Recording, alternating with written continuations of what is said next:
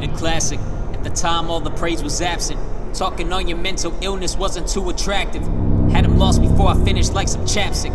A&Rs are telling me it wasn't where the cash is. Didn't see the fact this was deep in the rap.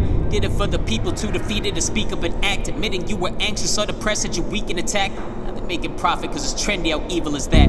But at least it brought a new awareness and more people sharing. Or made apparent they fake caring for gaining merits.